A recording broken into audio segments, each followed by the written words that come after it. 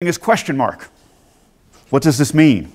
Are there American ways of war? Is, is the concept ways of war even a useful concept? I'll give you a hint. It, I think it's useful, that's why I'm talking about it. So, what might ways of war or a way of war look like? Well, we have ways of life. Uh, a way of life in a particular region might be farming, it might be sailing, it might be factory work. So, why not ways of war? Experiences and memories can, um, can dictate ways of war. Uh, you remember, you know, one, one nation will remember what it was like fighting a nation uh, a decade earlier or 20 or 30 years earlier, so they're going to try to refight that war.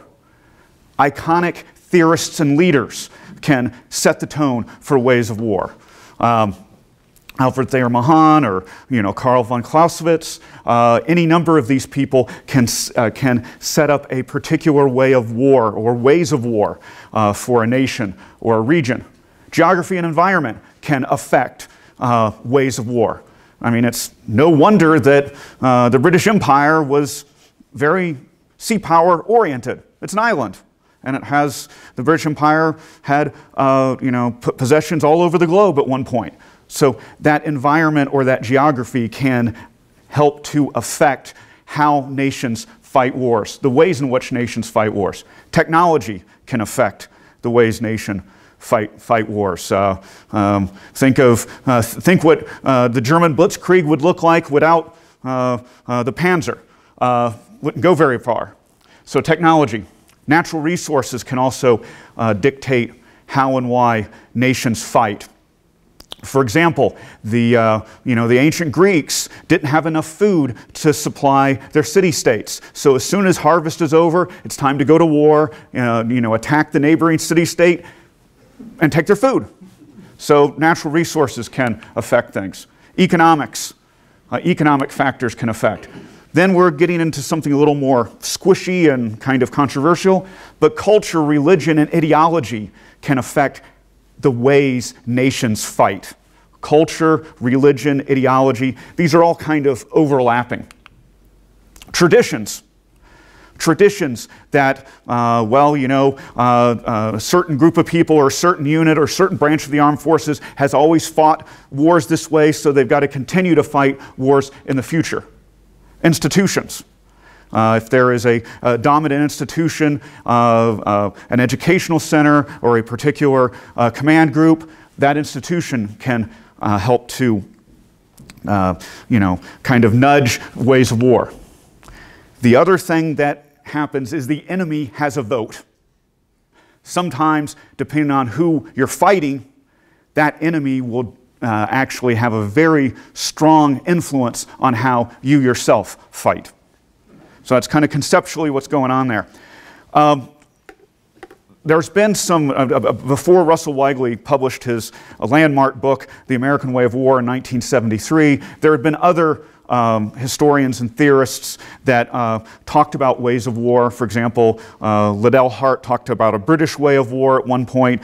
But in 1973, Russell F. Weigley's Amer The American Way of War kind of really popularized this concept and brought it into sort of uh, know, kind of the historical dialogue and the military theory and strategy dialogue. He believed that from 1864 through World War II, the United States was fighting wars that were efforts for survival and victory. Efforts for survival and victory. And that the United States would mass its forces and achieve decisive victory by what he called a strategy of annihilation. And the, uh, you know, the, uh, the, key, uh, the key campaigns that he would uh, point to would be Sherman's March to the Sea, and then March through the Carolinas, or the D-Day invasion, followed up by the, the race across France and into Germany over the next 11 years. So the strategy of annihilation. But note that he's talking about one way of war. Several historians have challenged this. In 2007, Brian Linn at Texas A&M published The Echo Battle, which uh, challenged Weigley's sort of singular, monocausal way of war and argued that there was actually a way of battle, not so much a way of war, but a way of battle. Uh, just a couple of years ago, uh, uh, Tony Echevarria at the Army War College wrote what I think is the best book on, on the American way of war. He does a very thorough uh, literature search and summarizes how different people have talked about the American way of war and uh, kind of synthesize them together. It's a fantastic book. The problem with both these books, though, is that they're army centric. They talk about the army. So, you know, the army, the army is a frontier army in the 19th century and, you know, a land army, ground power in the 20th century, that sort of thing. Well, that doesn't necessarily apply to the Navy, and it certainly doesn't apply to the Marine Corps or more recently to the Air Force. So they're good on the Army, but they're not very inclusive.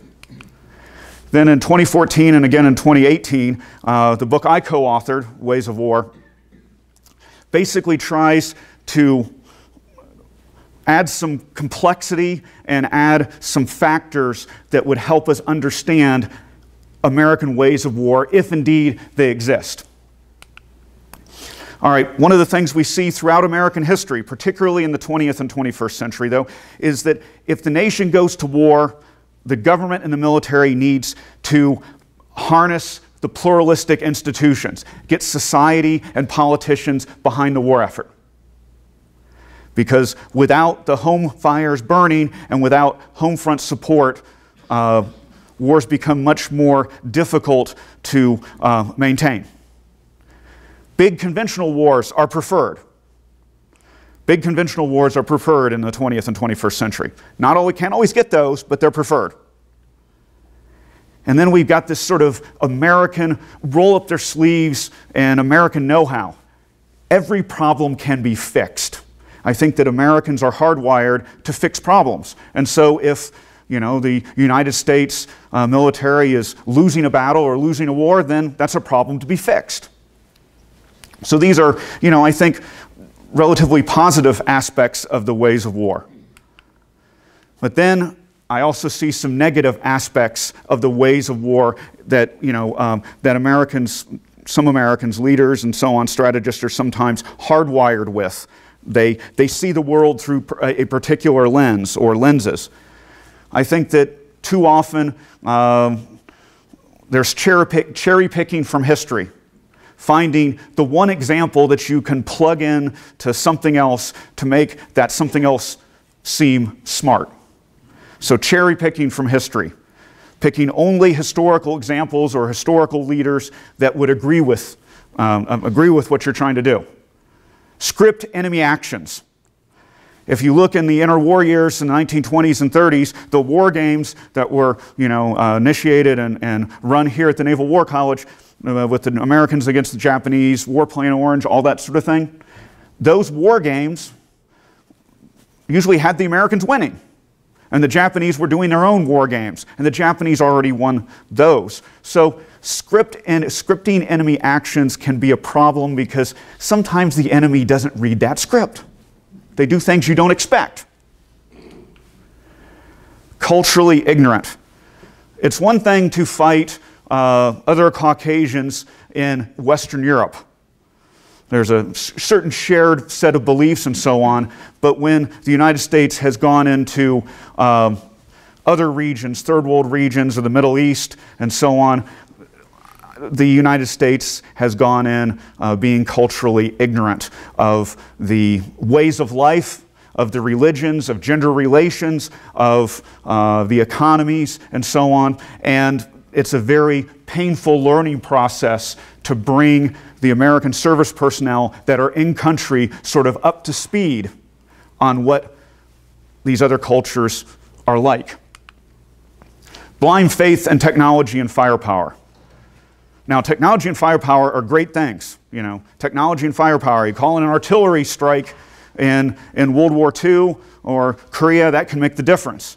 But having putting your eggs all in that those baskets of technology and firepower can be uh, can be a problem. It's just technology and firepower are arrows in a bigger quiver. Fear of attrition. One of the reasons why Weigley talked about the strategy of annihilation was because he recognized that representative democracies like the United States aren't going to necessarily be able to fight long, bloody wars. We want to get it over quickly. And so that's why he points to 1864 and 18, or 1864 and the American Civil War as a prime example, and then uh, the D-Day invasion in 1944. But it doesn't really fit in the Pacific War. The Pacific War goes on from you know the first landing Guadalcanal in August of 1942, almost to that same month, three years later, and you've got the atomic bombs. Uh, that's a long sort of, of, of episodic uh, battles and engagements every few months, but then it's also attrition. It's not annihilation, it's attrition. It's a long slog through New Guinea and to the Philippines and across the Central Pacific. So these things are all tied to American values, to American political ideas, to the American economy, to the American psyche, if you will, I think. All right, so I'm going to run through the 20th century really quick. I've just given you kind of concepts. Now I want to hang these on a chronology. So, with the 1890s and the end of the frontier and the United States stretching from sea to shining sea, you have a watershed change in American military strategy and policy in the 1890s. You have the rise of, of, uh, of a bigger navy. You have the Spanish American War. You have a, uh, uh, possessions across the globe that are uh, controlled by the United States after the Spanish American War. And they, um, they require protection.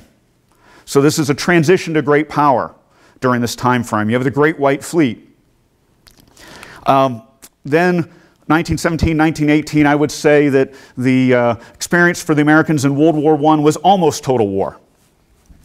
Uh, you know, combat on the ground was only about six or seven months, really, maybe eight months. And then, of course, the American Navy had been involved a little bit longer than that. But uh, it really, the United States was not in World War I long enough to get the full measure of what the brutality of World War I was like. Of course, if you were there on the trenches with, with Harry Truman or whoever, then you did get your, your fill of what total war was look like, looked like. But the nation as a whole didn't.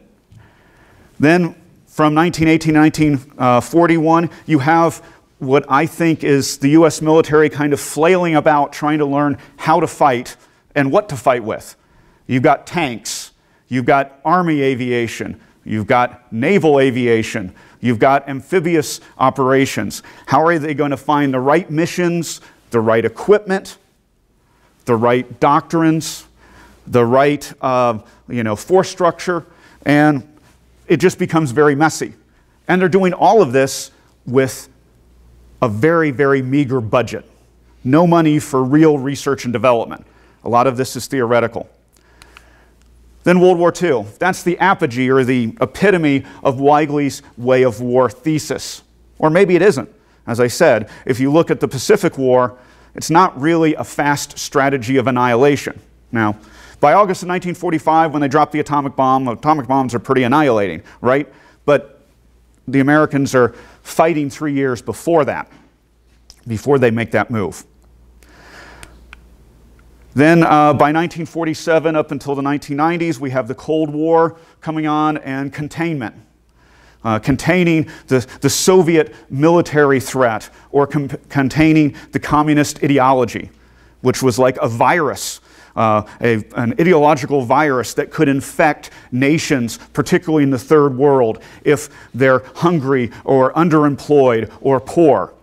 Then communism as an ideology spoke to those people and represented uh, a threat to American interests. After the Cold War is over, and, and right around 90, 91 or so, depending on how you want to date that, there's a transition from the Cold War to the post Cold War world. Some people call this Pax Americana, the American peace. And as I was writing the last chapter of my book, The Ways of War, I was trying to figure out what the pivot point is for the last chapter, which runs 1973 to 2018. That's a long time period.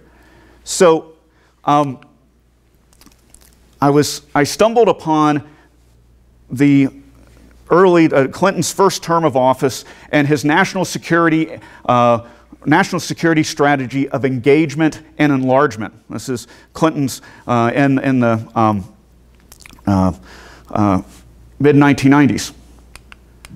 There were three, three key parts of this national strategy. One was to sustain, to credibly sustain our security with military forces that are ready to fight. That's pretty standard, right? You know, we got to be ready for, uh, for a fight, even if it never comes. To bolster America's uh, economic revitalization. Uh, to bolster America's economic revitalization. Again, not necessarily an outlandish uh, notion, but then to promote democracy abroad. These things are tied together, and I would argue that promoting democracy abroad is really interventionism. So this comes through in the 1990s, but Clinton doesn't really use the full range of these ideas, whereas after 9 11, the US government will use the full range of this to, uh, uh, to intervene. Now, I cannot take this, this concept, uh, I cannot say that I came up with this concept originally.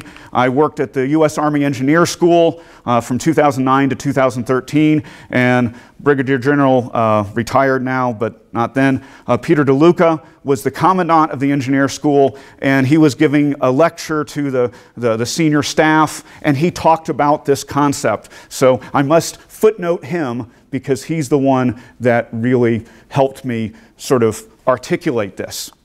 Uh, so I'm grateful to that. So as we're moving into, you know, 9/11 and post 9/11, you have warfare 9/11 and thereafter that's mostly asymmetric, or guerrilla warfare, or fourth generation warfare, or uh, unconventional warfare, whatever sort of name you have for that. It's kind of a flavor of the month but it's mostly asymmetric. Then I would argue, I, I know this gets a little bit political, but I would argue that Bush and the neoconservatives in his administration latched on to um, the ideas in Clinton's national security strategy and used those as applications for American power and used those as intervention, interventionism.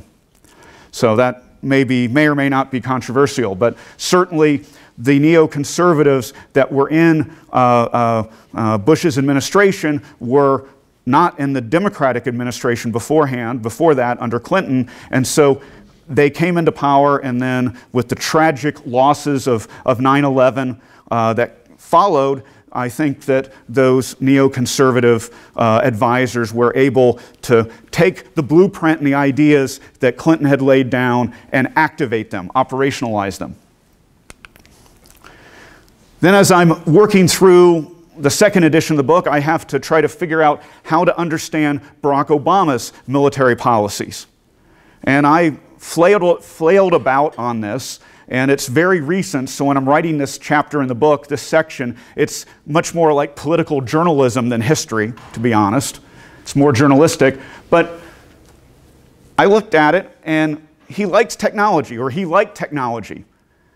He would um, have uh, seven in his eight in his, the first four years of his administration from 2009 to 2013 he used drone strikes that are unclassified examples that we know of. Drone strikes in four years seven times more total than george bush had used in eight years of his his administration. Seven times more.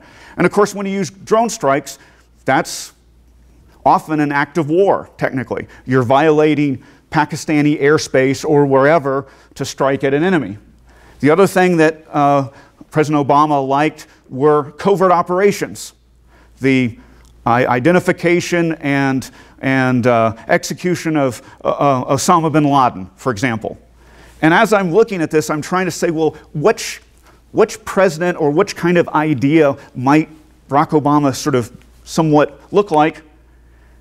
He also is reducing the size of the, uh, the number of men and women in the U.S. military towards his second uh, term. He's shrinking the U.S. military.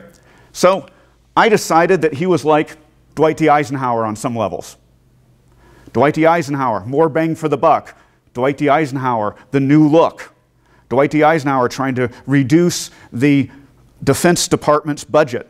So that was kind of that was the only way that I could really kind of uh, kind of get a memory peg or a historical example that seemed to work. And of course, now with the current administration, there's more question marks. And uh, I, uh, I, I, I hope I have a third edition to write here in another couple of years, and I'll worry about how to interpret the current administration in a couple of years when I have to write that edition. so, um, I've talked a lot about just sort of general uh, American ways of war, but many of you are from the seaborne services, so, and I've already criticized. Uh, Doctors Echevarria and Linn for being too army centric, to be too ground power centric in their theories. So, I want to just summarize a little bit about what I, what I think are American seaborne ways of war from the 1890s to the present. U.S. Navy is being used to protect American interests and project American force. Protect American interests around the globe and project American force. I'm not the only one to say this, but I would argue that the U.S. military and the United States and the U.S. Navy in particular right now is similar to the British Royal Navy in about 1900. Very powerful, very large, but stretched very thin, and also dealing with lots of localized or uh, you know, regional conflicts that could flare up at any time. So very, very powerful Navy, very potent Navy, but spread awfully thin with lots of challenges. This is all sort of Mahanian in outlook, I think. Then uh, U.S. Marine Corps. Many missions that can contribute to every conflict. Pragmatism. So they're going to be a second land army in World War I. They're going to do small wars. They're going to do amphibious operations. Each, each conflict in the 20th century, the Marines sort of adapt like chameleons so they can get a piece of the action.